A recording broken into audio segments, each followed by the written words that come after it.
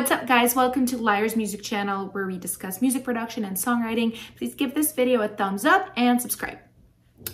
All right, so today I'm going to dig into a song I produced about a year ago.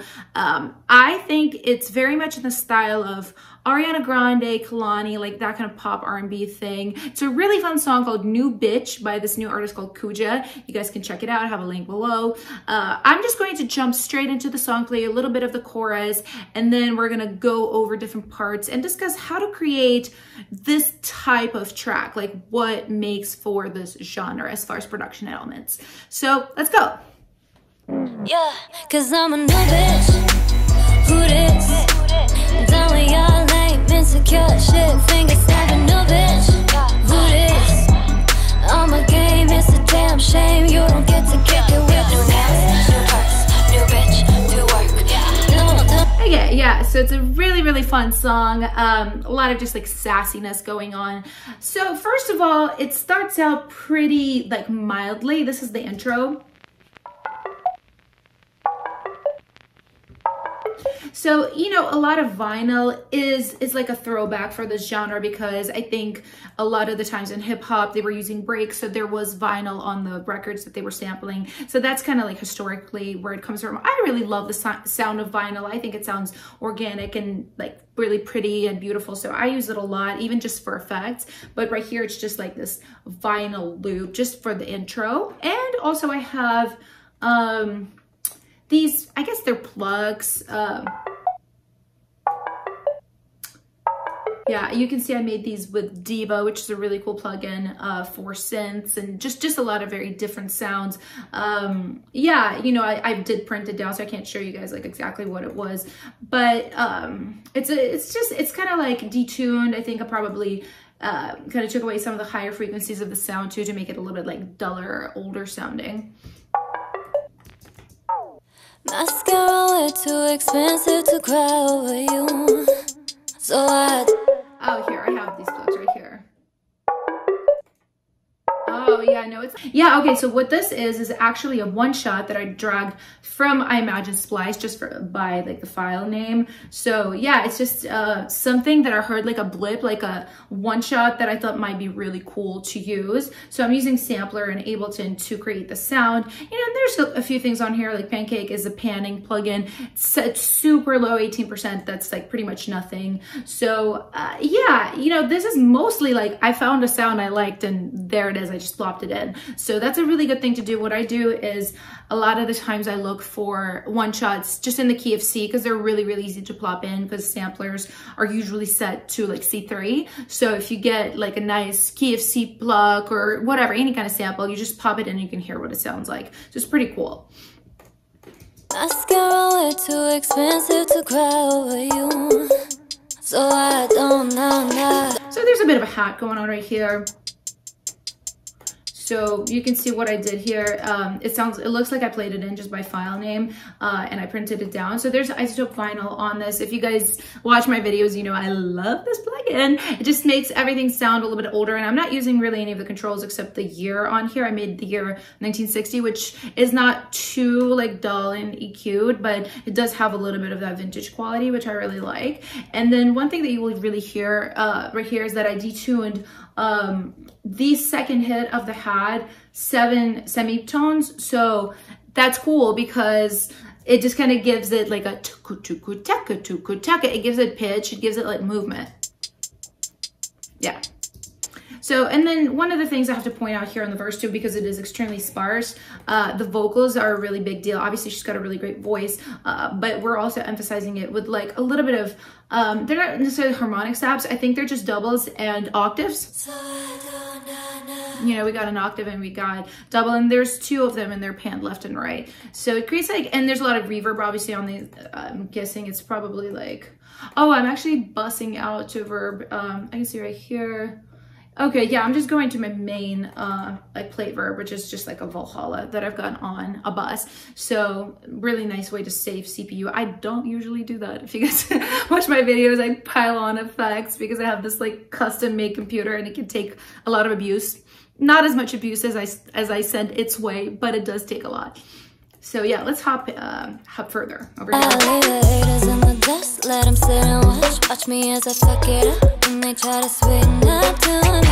Okay, yeah, so the a lot of this music, all right, like a lot of this, let's just call it Ariana Grande type music, uh, pop R&B, like this trap bass pop, a lot of it is loop based, right? We're not really changing chords too much uh, most of the time. So a lot of it has to do with dynamics. So I have this verse, which is really sparse, hat vocals and that little pluck thing. Here the drums come in. I think the bass comes in as well, the 808. I'm, I might be lying. We'll see. Um, but it's a lot of stuff that comes in just on the second half of the verse. And then when you hear the pre, you will see that everything pulls back and becomes a lot more legato. There's just a lot, a lot of like ephemeral, ethereal kind of sounds coming in. And that's very conscious choice on my part because it creates a lot of like, oh, we're here, over here dynamics. Haters in the dust, let them sit and watch. Watch me as I fuck up. And they try to sweeten up to me. Yeah, so we got, you know, we got a stack of snares. I do this a lot. Um, claps and snares. I just kind of position them without thinking too much, just however, like it feels good to me. You know, if I'm like,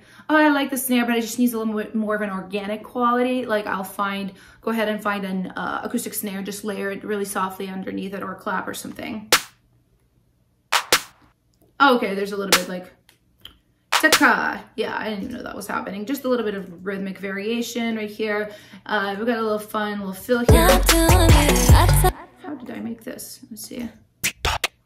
Oh, it's beatbox. That's so fun. Honestly, like I probably would have like turned this up in the mix because this is fun. God, yeah, it's nice. I really like a lot of fills that are made of unusual things like Foley or something, not just like, you know, snares and toms and stuff. So I think it's pretty fun. Money, no, it. So I I got these little, I think it's just a, I can't do it, like a mouth pop, but it's, I, it sounds like it's really pitched up quite a bit. Maybe I've pitched it up before or, um, okay, yeah, I see this was just like, yeah, if I take the verb off. Yeah, they're just clicks. That's what they are. And putting verb on it makes them sound a lot more like organic. So I don't know now you knock me down, just fill me high. And you can see what I did here is I straight up used um, a sample from Splice. I'm guessing this might have been a sample that this song was built from. This has been a year, so I don't remember. But yeah, sometimes I don't do this very often anymore. Most of the times I like to like start with chords I play or even like make samples myself because I just don't want it stuff to like sound reminiscent of anything else somebody might have made using Splice. Uh, but this one does have like a pretty good uh, featured Splice loop. See what I did to make it a little bit different is uh, I put tremolator on it because it didn't have the tremolo before. Oh yeah, and then I also, I'm pretty sure I wrote in that really true, that like um, transposition, transposition sweep. So what it does, it drops down and it goes above right here. Uh, yeah, so a lot of the times, like if you're gonna use a sample that is from Splice, which means anybody else can use it in their song too, you wanna make it like kind of different. Here, oh, here, see, I'm also really EQing it. I'm really curious to hear this like without this stuff now. Yeah, so it sounds quite different. So with the things I did, it's a little bit more like acceptable that I used a splice loop as a featured instrument. Oh, you knock me down, just fill me high. So there's a little bit of like a splash right here.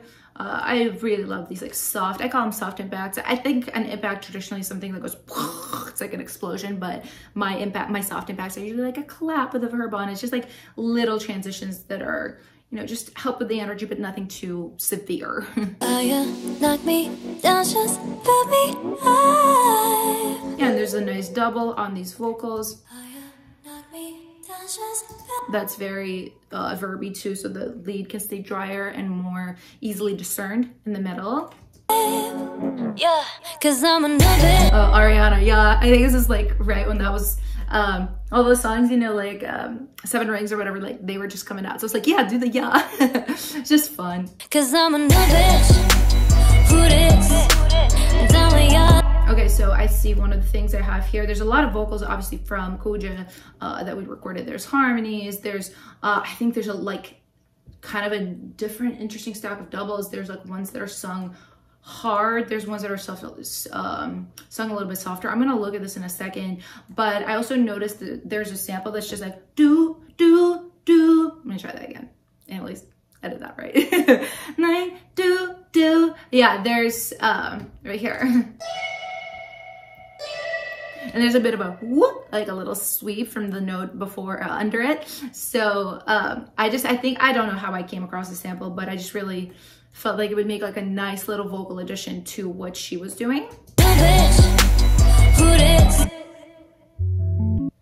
Okay, I see what I did with this. So I took like a regular organ sound, which is also again like a nod to traditional R&B production because there's a lot of live organ used in that music, like B3s. Um, so I layered it doing the exact same melody as that main pluck from the verse.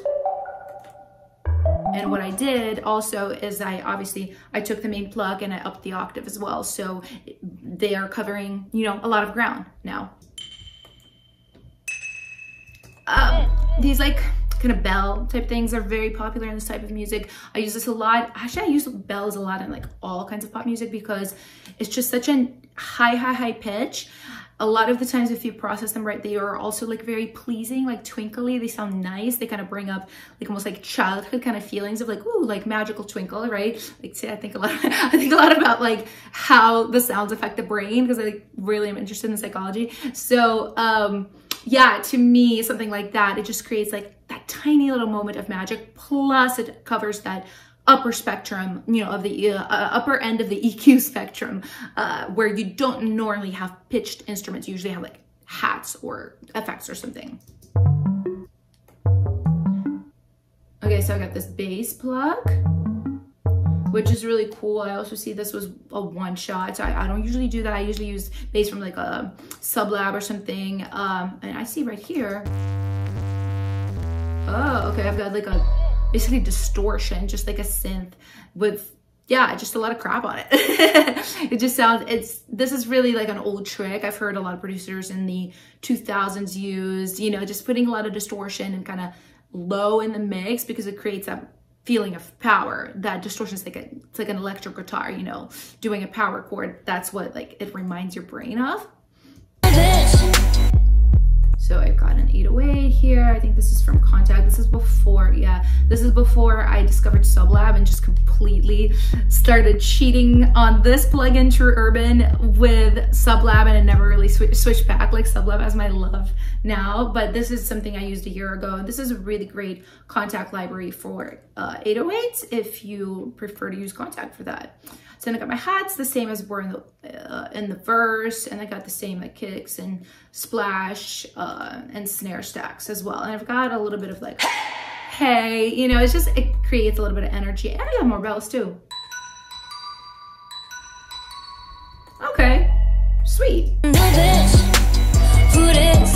I see.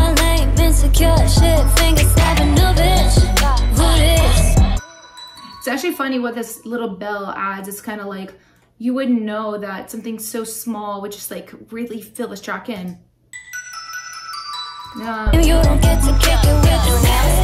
I got a lot on it too, just like panning. I don't know why I have pancake twice. You know, sometimes I just like jump around so much in a session that I'll just add something twice, but you know, we forgive ourselves.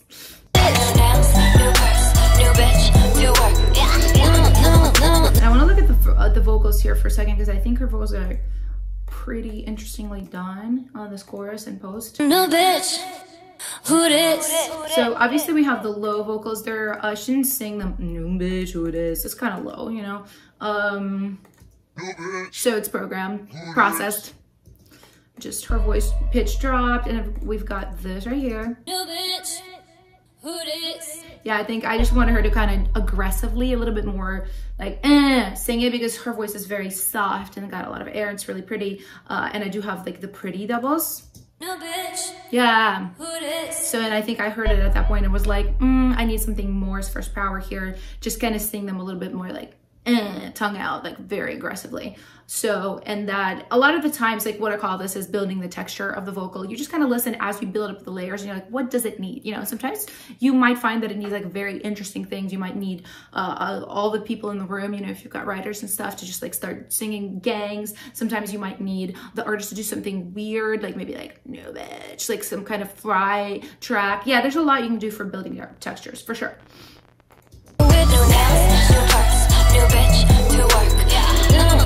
And just looking at this, With new nails, new purse, new bitch, do work.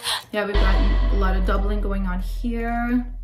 No, no, no, no, no, no, new bitch. There's tremolo going on, I think, just on the doubles, and then there's none going on on the middle. So you can still hear the word new, new, new, new, and then it's like kind of shaking in the sides. So it creates a cool effect. No, no, no, no, damn shame. You. And then we've got this vocal right here too. I think all this is is just a pitched up vocal. I actually think this might be me. I'm curious. Is this me or is this her? No, that's her. That's for sure her. A lot of the times I end up doing these like kind of vocals as an instrument parts. So yeah, we just kind of you know recorded her doing that and I pitched it up just so it, it can have that floating thing. Like again, adds something different, adds energy. I know you're someone so exotic like me. Something like this, again, this is a question of dynamics.